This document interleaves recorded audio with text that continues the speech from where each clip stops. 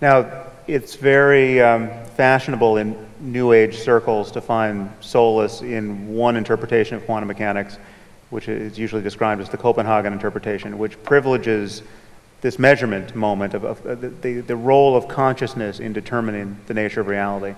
And Einstein famously said, you know, I, I, do, do, you really think that the moon doesn't exist unless I'm looking at it as a way of disparaging this, this uh, view? My sense from talking to physicists of late is that, that interpretations of QM that privilege the role of consciousness are less and less fashionable to the point of being more or less retired now. Is that, is that actually where it, where it is? And, and do you, what do you think about consciousness as, as a part of this puzzle?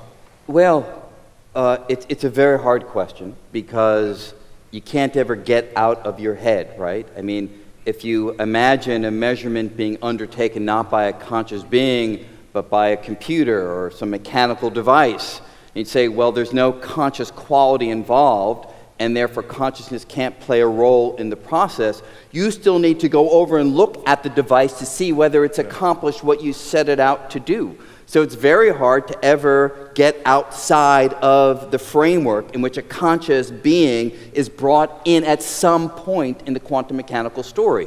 And that's what makes it hard to excise it fully.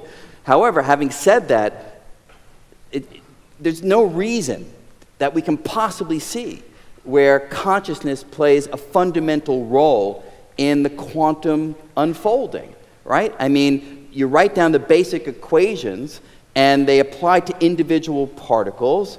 And whether those individual particles are grouped together in some amorphous mass or into this nicely organized structure that allows some kind of internal processing to take place, it doesn't seem to matter to the equations. That's an add on.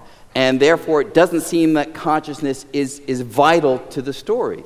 So um, I don't think so. I don't think consciousness is essential. And I would just underscore one point.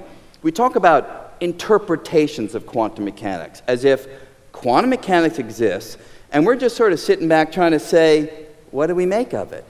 That's not the situation. Yeah. These so called different interpretations are attempting to resolve this unsolved problem of quantum measurement.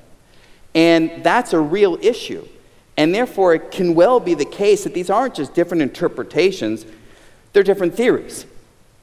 And if we understand them well enough, and we finally have a solution to the measurement problem, we might find that it's not that we were struggling with interpretations, we were struggling with actually giving birth to the full theory itself. Mm. And I suspect that that's where things will ultimately turn out.